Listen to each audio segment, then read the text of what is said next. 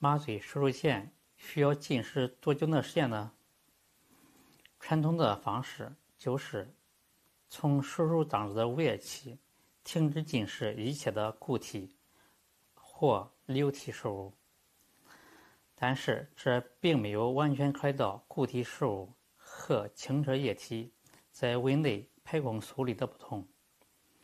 同时，若是病人手术延迟到下午时分，很可能因饥饿难耐，即口干舌燥而显得烦躁不安，而一些小孩或是年轻女性还可能发生低血糖的情形。一般来说，原则上成人或小孩应在麻醉前六至八小时停止固体食物，包括牛奶或有果汁的果汁。果粒的果汁，而距离麻醉两个小时之前，再可喝一些清澈的液体，如白开水或不会含果果粒或果渣的果汁儿。这样做不但可以减少病人的不适，同时因为像白开水之类的饮料